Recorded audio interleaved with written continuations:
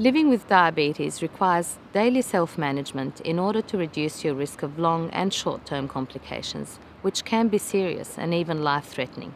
In order to reduce your risk of complications, you need to keep an eye on your blood glucose levels, blood pressure, and cholesterol, and ensure that they're kept in as close to the normal range as possible.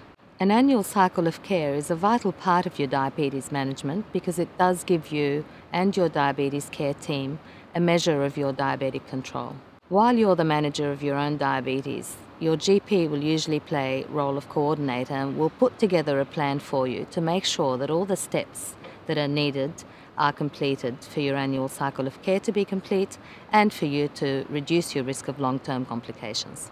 Your HbA1c is your three monthly test that your GP orders, which reflects your general diabetic control. It doesn't of itself tell us of the highs and lows of your blood glucose levels, which is why it really should be done in conjunction with your home monitoring.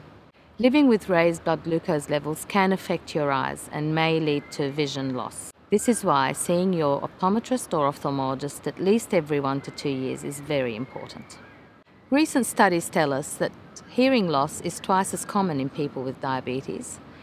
This may not be noticeable by you because it happens very gradually, and we think it's due to the damage that diabetes does to the nerves and the blood vessels in the inner ear.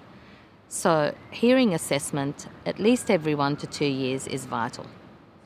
Cardiovascular disease is the leading cause of death among Australians. Having diabetes, you are at greater risk of cardiovascular disease if you're living with raised blood glucose levels over a long period of time.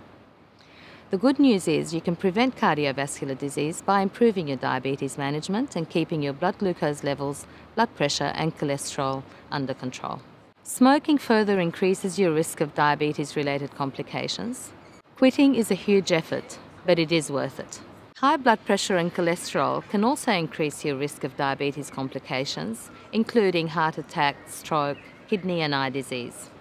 Blood pressure should be checked at every doctor's visit, while your cholesterol should be checked every 6 to 12 months at least.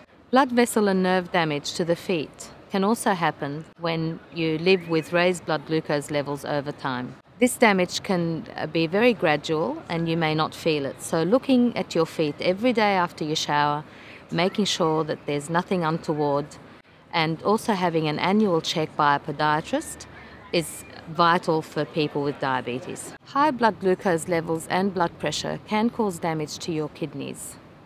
You won't notice this until it's quite advanced. That's why it's important to have your GP do simple blood and urine tests at least once a year, so if there are any problems, they're picked up and treated early.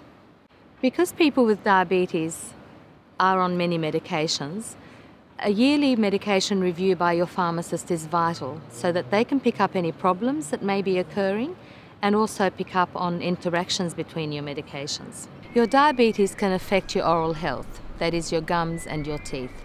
And your oral health can also have an impact on your blood glucose levels. Make sure you see your dentist every six months, even if you have dentures. And let your dentist know that you have diabetes so that they can treat you and guide you accordingly. Diabetes is a complex disease and needs a systematic approach to care. So, completing your annual cycle of care is very important in giving you better health outcomes. And remember, most complications are preventable or treatable if picked up early.